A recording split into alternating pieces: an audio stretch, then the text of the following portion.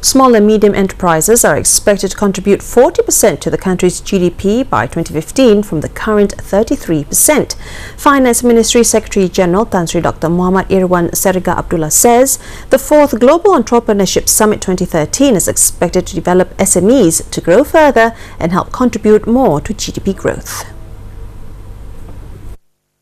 He also encouraged Malaysian entrepreneurs and youths to come and take full advantage of the learning and sharing opportunities, which will be held on a truly global platform. This is what they know the whole strategy to develop the small and medium scale industry. Currently it's 33%, you know, and we are targeting it will go beyond 40%, you know, by 2015. So hopefully we can achieve this through this kind of uh, activities, you know, enhancing their capability and also the technological, you know, contribution to the. SME. He added the summit will also give the nation an opportunity to develop its trade and investments with other countries.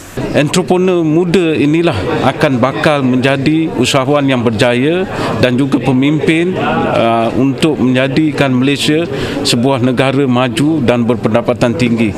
Tanpa entrepreneur yang inovatif dan kreatif, kita tidak akan capai taraf uh, negara membangun. Some 93 speakers representing over 90 organizations from more than 70 countries will be speaking at the summit to share their knowledge and experiences.